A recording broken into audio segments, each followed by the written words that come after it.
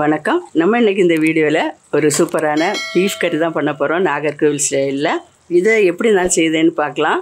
அதுக்கு முன்னாடி நீங்கள் இந்த சேனலை இதுவரைக்கும் சப்ஸ்கிரைப் பண்ணலைன்னா சப்ஸ்கிரைப் பண்ணி வச்சுக்கோங்க. பக்கத்தில் இருக்கிற பெல் ஐக்கானையும் கிளிக் பண்ணி வச்சுக்கோங்க. நான் போடக்கூடிய வீடியோ உங்களுக்கு நோட்டிஃபிகேஷன் வரும். வாங்க இனி பார்க்கலாம். இந்த நாகர்கோவில் ஸ்டைல் பீஃப் கறி பண்ணுறதுக்கு நான் ஒரு குக்கர் அடுப்பில் வச்சுருக்கேன். அரை கிலோ பீஃப் கறி எடுத்திருக்கேன். இது நல்லா கழுவிட்டு வச்சுருக்கேன். கழுவி நல்லா இதில் பிளட் எதுவும் இல்லாதபடி நல்லா கழுவிடணும். நிறைய தண்ணி போட்டு நல்லா கழுவி எடுத்துக்கலாம். இதை இப்போ நான் குக்கரில் சேர்க்குறேன். இது அரை கிலோ இல்லை முக்கால் கிலோ கறி நான் இதில் சேர்த்துட்டேன். அரை டீஸ்பூன் மஞ்சத்தூள் ஒரு டீஸ்பூன் உப்பு சேர்க்குறேன். ஒரு கால் கப்பு தண்ணி சேர்த்துக்கலாம். கால் கப்பு தண்ணி சேர்த்து நல்லா மிக்ஸ் பண்ணி மூடி போட்டுடலாம். மிக்ஸ் பண்ணியாச்சு குக்கர் போட்டுடலாம். ஒரு அஞ்சு ஆறு விசில் வைக்கலாம். நீங்கள் வாங்கக்கூடிய கறியோட திக்னஸ் எந்த மாதிரி இருக்கோ கொஞ்சம் அதிகமாக ஹார்டாக இருந்துச்சுன்னா இன்னும் கூட ரெண்டு விசில் போடணும். நீங்கள் அதை பார்த்து போடணும். அதே மாதிரி குக்கரும் அப்படிதான். குக்கர்லேயும் சில குக்கர் சீக்கிரமாக வெந்துடும் சில குக்கர் கொஞ்சம் லேட் ஆகும். அதனால் நீங்கள் உங்கள் வீட்டில் வச்சுருக்கிற அதுக்கு தகுந்தாப்புல நீங்கள் போட்டுக்கோங்க. நான் இப்போ இதில் ஆறு விசில் போட போகிறேன் விசில் போட்டப்போ முடிச்ச பிறகு பார்க்கலாம். இப்போ இது கொஞ்சம் மசாலா வறுத்துக்கலாம். ஒரு டேபிள் ஸ்பூன் பெருஞ்சீரகம் எடுத்திருக்கேன்.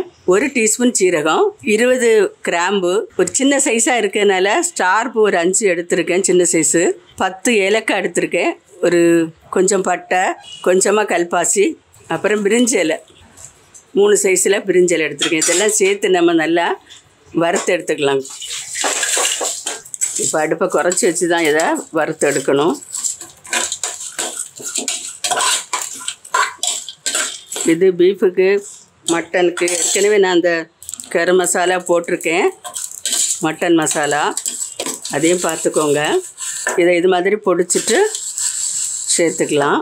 வறுத்தது போதும். இப்போ இதை நம்ம வேக வச்சு எடுத்தாச்சு. இதில் கொஞ்சம் தண்ணி நிற்குது ஏழு எட்டு விசில் நான் வச்சுட்டேன். நல்லா வெந்துட்டு.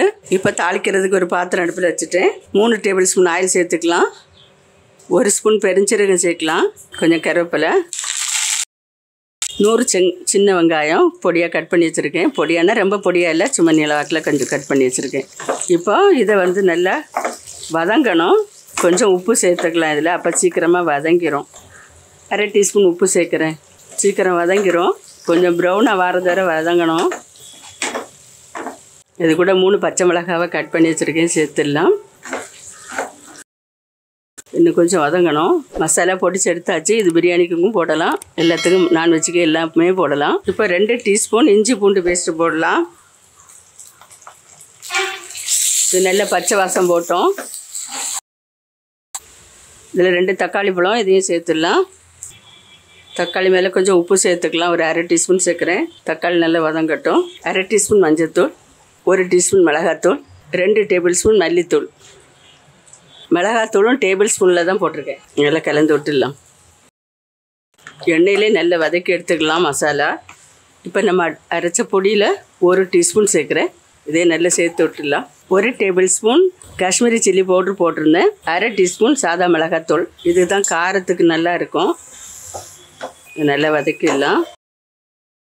இப்போ நம்ம வேக வச்சு வச்ச கறி இதில் சேர்த்துடலாம்.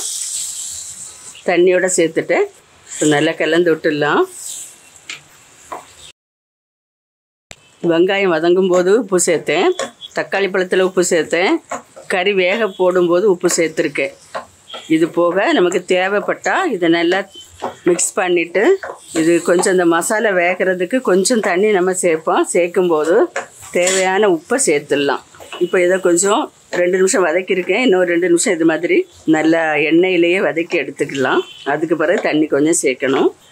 கறியெல்லாம் வேக வச்சு தான் வச்சுருக்கோம். இன்னும் ஒரு நிமிஷம் இதை நல்லா வதக்கி விட்டுக்கலாம். இப்போ இந்த எண்ணெயிலே எல்லாம் கொஞ்சம் நல்லா வதங்கியாச்சு. போதும். இனி இதில் தண்ணி சேர்க்கணும். இதில் ஒரு கப்பு தண்ணி சேர்க்குறேன். இருநூறு எம்எல் அளவு தண்ணி. இனி அடுப்பை கொஞ்சம் கூட்டி வச்சுட்டு மூடி போட்டு நல்லா மிக்ஸ் பண்ணிவிட்டேன் இனி மூடி போடலாம். இன்னொரு அரை கப்பு தண்ணி சேர்க்குறேன். இனி இந்த ஸ்டேஜில் உப்பு தேவைப்பட்ட உப்பு போட்டுக்கலாம். போட்டு பா இதை எப்படி இருக்குன்னு பார்த்துட்டு தேவையான உப்பை சேர்த்துக்கோங்க. காரமும் தேவைப்பட்டால் சேர்த்துக்கலாம். இப்போ ஒரு கால் டீஸ்பூன் அளவு நான் உப்பு சேர்த்தேன் இதில். எனக்கு போதுமான அளவு இருக்குது நீங்களும் அது மாதிரி பார்த்து போட்டுக்கோங்க. இப்போ மூடி வச்சிடலாம். மூடி வச்சு ஒரு அஞ்சு நிமிஷம் இதை வேக விட்டுடலாம். ஒரு மீடியம் ஃப்ளேமில் வேகட்டும். இடையில இந்த கலந்து கொடுக்கணும். இப்போ ரெண்டு நிமிஷம் ஆயிட்டு திறந்து பார்க்கலாம். இதுக்கு கருவேப்பிலை போட்டு விட்டலாம் மல்லி இலையை கொஞ்சம் மல்லி இலை தூவி விட்டுடலாம். கலந்து விட்டு மறுபடியும் ஒரு மூணு நிமிஷம் நம்ம வச்சு எடுத்துடலாம். இப்போ பார்க்கலாம் இப்போ சூப்பராக ரெடி ஆகிட்டு கொஞ்சம் கருவேப்பிலை போட்டுக்கலாம். இவ்வளோதான் இது மாதிரி நீங்களும் வீட்டில் ஒரு தடவை ட்ரை பண்ணுங்கள் இதை நாகர்கோவில் ஸ்டைலில் பண்ணக்கூடியது. ஒரு தடவை இது மாதிரி ட்ரை பண்ணி பார்த்துட்டு கமெண்ட் பண்ணுங்கள் மறுபடியும் ஒரு நல்ல ரெசிபியோட நான் உங்களை சந்திக்கிறேன். மறக்காமல் லைக் பண்ணுங்கள் கமெண்ட் பண்ணுங்கள் செய்து பார்த்துட்டு கமெண்ட் பண்ணுங்கள் நன்றி. God bless you